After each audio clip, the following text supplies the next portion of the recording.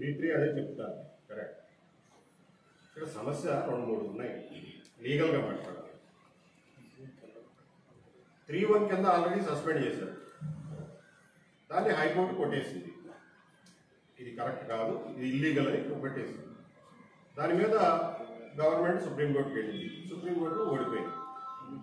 సుప్రీంకోర్టులో వేసిన SLP dismiss చేశారు. అంటే హైకోర్టు ఆర్డర్ అప్హోల్డ్ చేసినట్టు ఒకసారి త్రీ వన్ కింద చేసిన సస్పెన్షన్ని హైకోర్టు కొట్టేసినప్పుడు అదే కారణాలు చూపిస్తూ మళ్ళా త్రీ త్రీ కింద ఇంకొకసారి సస్పెండ్ చేయడానికి ఎక్కడ అధికారం ఉంది? సో ఇది ఎంత మళ్ళా ప్రభుత్వాన్ని ఏ రకంగా తప్పుదారి పట్టించారు అనేది ఈ సస్పెన్షన్ ఆర్డర్ చూస్తే తెలుస్తుంది. క్రిమినల్ కేసు ట్రయల్లో ఉన్నప్పుడు లేకపోతే క్రిమినల్ కేసు పెండింగ్ ఉన్నప్పుడు ఒక ఆఫీసర్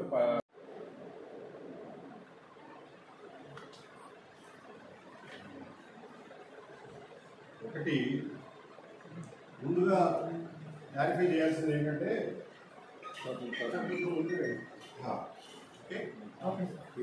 సాక్షి ఛానల్లో స్క్రోలింగ్ ఇచ్చినట్టుగా ఏదో వ్యాఖ్యలు క్రమశిక్షణ చర్యలు అన్ని సస్పెన్షన్ అనేది పూర్తి అవ్వదు.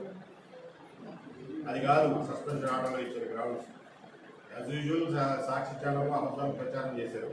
అది వాళ్ళ పేపర్లో కరెక్ట్గా రాసినట్టు ఈ ఆర్డర్ ప్రకారం రాసినట్టుగా ఉంది. ఈ ఆర్డర్ ప్రకారం సస్పెన్షన్ చేయడానికి గ్రౌండ్స్ ఇచ్చింది ఏమిటంటే దాని మీద ఒక క్రిమినల్ కేసు ఉన్నదని he has tried to influence witnesses related to the criminal trial. అంట అసలు ఆ కేసులో నా మీద ఏసీబీ వాళ్ళు కేసు పెట్టారు మాట వాస్తవం. ఎప్పుడు కిందట సంవత్సరం మార్చిలో పెట్టారు. అంటే సంవత్సరం నడుగుతాం దాదాపు. పెట్టిన వాళ్ళు ఇప్పటి వరకు దాంట్లో ఛార్జ్ షీట్ వేయాల. ట్రయల్ అనేది స్టార్ట్ కాల. అసలు ఛార్జ్ షీట్ వేయకుండా ట్రయల్ ఏంటి? విట్నెస్ని బెదిరించడం ఏంటి? ఏం తీసేసి తహసీల్దార్ గారు ఇచ్చాడో ఇలాంటి రిపోర్టు? లేకపోతే ఏ పనికి వాళ్ళ సలహాదారుడు ఇచ్చాడో తెలియదు.